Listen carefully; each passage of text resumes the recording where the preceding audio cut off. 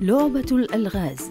بعد مراجعة الكراسة الموجودة في اللعبة يتم اللعب حيث يوجد لغز ويجب علينا إكماله. جواب كل لغز موجود في نهاية الكراسة وبإرشاده يمكن إكمال اللعبة.